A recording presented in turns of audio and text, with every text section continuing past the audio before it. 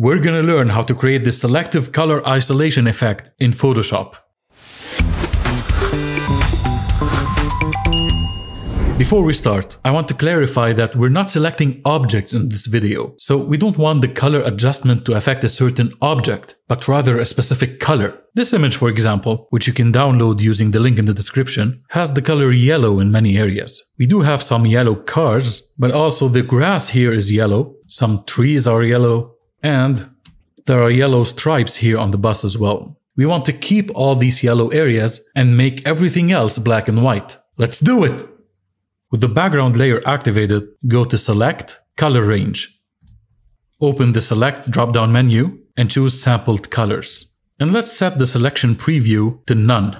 Make sure Localized Color Clusters is unchecked, activate the eyedropper tool, and click once on a yellow car directly on the canvas. Activate the Add the Sample eyedropper tool, the one with the plus sign, and then click and drag over different shades of yellow to add them to the selection. You can also use the minus eyedropper to remove colors. Now change the selection preview to black matte. This will show you the selected colors on a black background. You can now change the fuzziness value to adjust the fall off and improve the selection.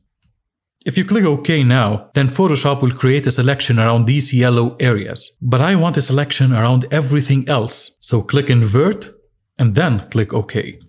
Now that the selection is ready, go to the Layers panel, click here to add an adjustment layer, and then choose Black and White.